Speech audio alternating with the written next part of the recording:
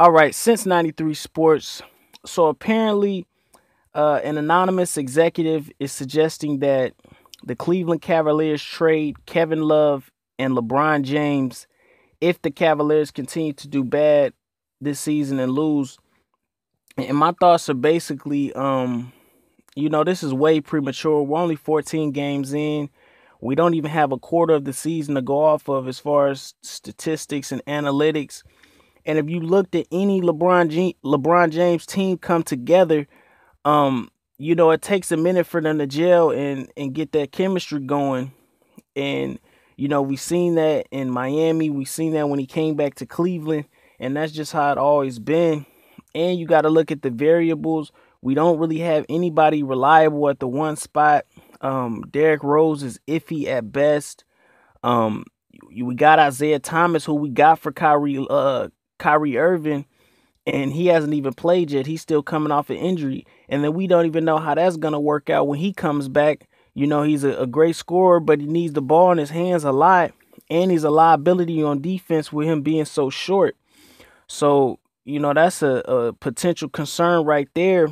But at the end of the day, you know this is just showing how the the loyalty runs for uh, the owners as far as these players and you got these fans always blaming the players for for leaving these organizations. And but it's okay for these owners to have zero loyalty for their players. You know so that that's a whole different you know discussion right there. But i just wanted to throw that in there. But primarily this this amount of urgency you know it's coming because of the success of the boston celtics in particular.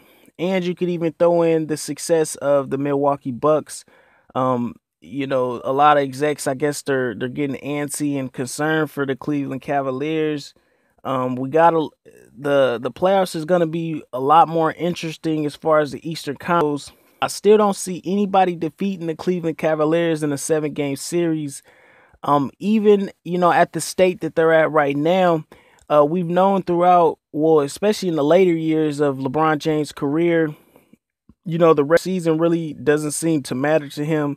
It's just all about preparing for the the postseason and making sure you know he conserves his energy and and doesn't sustain any injuries during the uh the regular season as far as exhaustion and you know things of that nature. But he still plays a lot of minutes. So that's my thoughts. You know this is premature. This is very disloyal if the Cleveland Cavaliers executives are even considering this. Um, I wouldn't mind seeing Love and Tristan Thompson getting getting booted out of there and his cousins. But you, you know we can't even discuss you know trading the best player in the NBA right now. You know LeBron James trades the team. You know LeBron James don't get traded.